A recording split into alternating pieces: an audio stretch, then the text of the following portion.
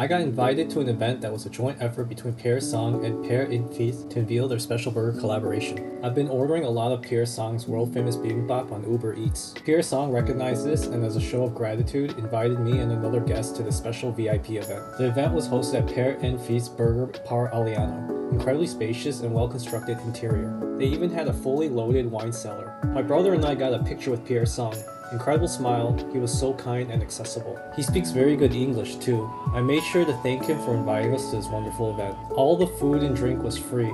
I helped myself to some red wine and some alcoholic free pina coladas. We shared some pleasant conversations with some new friends we made. The place got super packed as the evening went along. During the middle half of the evening, everyone gathered on the second floor and the host shared a nice speech. This evening was also to commemorate and honor the life of a fellow chef who passed away in a car accident. The vibes of the crowd got super emotional. Eat and live on, and that's what we did.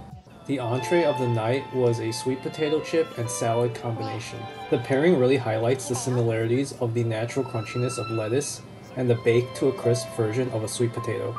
It was dressed with a nice tangy and sweet sauce. Then, the main event of the night. Père Sang and Père and Fils burger collaboration, the Samjang burger. I really enjoyed the bun, thick and crispy exterior and soft interior. Great vessel for arranging all the burger's ingredients and to prevent the bun from getting soggy. They used excellent quality beef that literally melts in your mouth on each bite. The staff asked us for some feedback regarding the flavor of the burger. Our new friends thought it was a bit too salty. The Samjang sauce really dominated the flavor profile of the dish.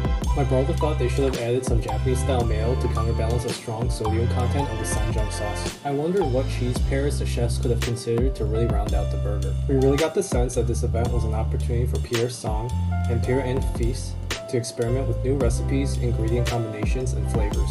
This shows that even the best chefs in the world are always hard at work at learning and gathering feedback on their existing iterations, improving their recipes, and striving to perfect them. We were also incredibly surprised that they showcased a second experimental burger, the Indian curry style veggie burger.